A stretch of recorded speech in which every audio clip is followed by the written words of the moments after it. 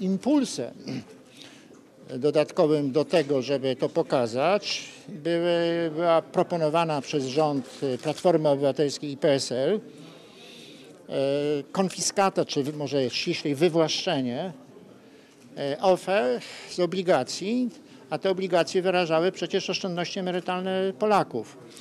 Tam były bardzo różne uzasadnienia i one się zmieniały w czasie. Wszystkie były naciągane lub nieprawdziwe.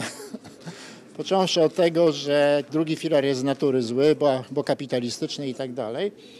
Ale do os ostatnie uzasadnienia podkreślają, że dzięki temu spadnie dług publiczny.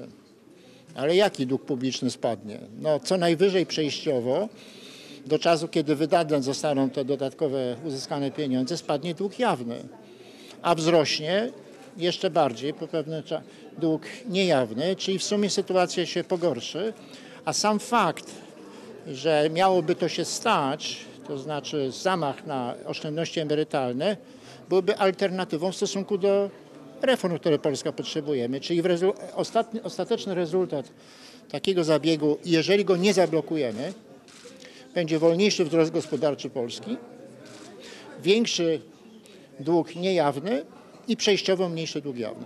Inwestorzy zwykle w pierwszej kolejności reagują na zmiany w długu jawnym, a dopiero po pewnym czasie na zmiany długu niejawnym, wtedy kiedy widać, że on będzie prowadził do kryzysu.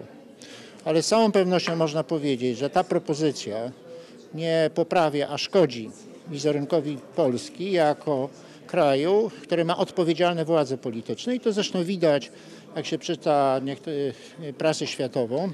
Jeżeli się nie reformuje finansów publicznych, jeżeli utrzymuje się wydatki, które, nadmierne wydatki, które wymagają wysokich podatków i zaciągania długu jawnego, to w pierwszej kolejności przyczynia się to do stagnacji, na przykład we Włoszech, a jeżeli dalej się to brnie, no do jawnego kryzysu.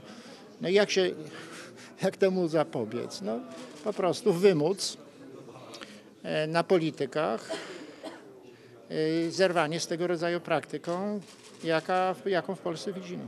Tu nie chodzi o to, że mamy to spowolnienie e, w tym roku w przyszłym roku. Tu chodzi o to, że przy utrzymywaniu obecnego stanu rzeczy Polska wpadnie w trwałe spowolnienie. To znaczy będzie się rozwijać znacznie wolniej niż w ciągu ostatnich 20 lat i w efekcie przestajemy wydatnie dochodzić do poziomu życia Zachodu, a ludzie, młodzi ludzie w poszukiwaniu pracy nadal będą wyjeżdżać na Zachód. Taka jest stawka.